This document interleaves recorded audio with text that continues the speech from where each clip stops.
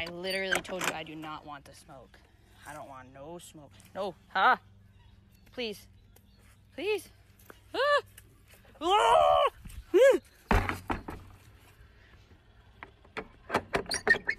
So anyone who knows me knows that I love animals, and it's like, I mean, I'm sure you've been following my current beef with Rico the Swan, and you know, it's kind of hurting my heart a little bit that that he and I are beefing. I'm not gonna lie. I'm used to walking down to the farm and being greeted lovingly by all the animals, and given that he and I aren't on really good terms right now, I think it's my job to be the bigger person and squash the beef. So, I'm gonna go out there. Um, take a risk. I'm gonna take a chance. I'm gonna bring Rico some treats, and I'm gonna see if we can uh, if we can squash the beef. All right. So say a prayer for me. All right. Treats on deck. Target in sight. I am literally the complete opposite side of the of the pasture. Um, but he is still locked and loaded. Okay, so what I'm gonna do is I'm just gonna prop my phone up over here and see if I can make amends with him. All right. okay,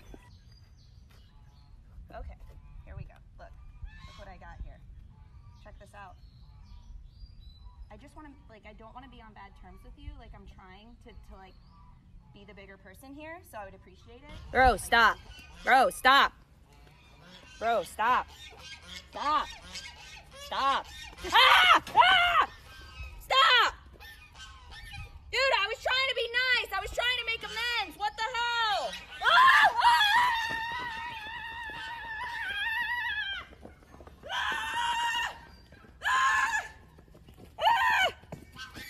Get back!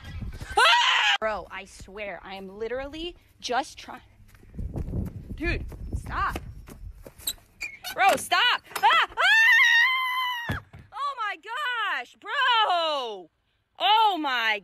I've never seen anything like this. Like that right there. Ah! Can't even close the gate because homeboy is right here trying to attack me every time I reach